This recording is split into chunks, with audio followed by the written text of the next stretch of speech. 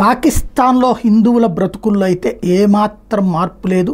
క్రమంగా అంటే ఇప్పటికే ఒకనాడు ఇరవై ముప్పై శాతం ఉన్నటువంటి హిందువులు ఇప్పుడు రెండు శాతమా ఐదు శాతమా అని లెక్కేసుకోవాల్సి వస్తుంది. అది కూడా ఏదో ఒకటి రెండు ప్రావిన్స్లో బలమైనటువంటి ఆర్థిక పరిస్థితులు ఉన్నటువంటి పాత హిందువులు ఉన్నారు. వాళ్ళ కుటుంబాలు ఉన్నాయి కాబట్టి వాళ్ళు అక్కడ ప్రజాప్రతినిధులు కూడా ఉన్నారు కాబట్టి కంట్రోల్ అవుతుంది. మిగతా చోట్ల అయితే అది కూడా లేదు. ఓవరాల్గా తాజాగా పాకిస్తాన్ హిందూ యంగాల్ మెహేక్ కేస్వాని ఫోర్స్ఫుల్గా మత మార్పిడి చేయబడింది. నికేష్ అనే ని నికా అదే అమ్మాయికి పెళ్ళి చేయబడింది. బలవంతపు పెళ్ళి చేయబడింది.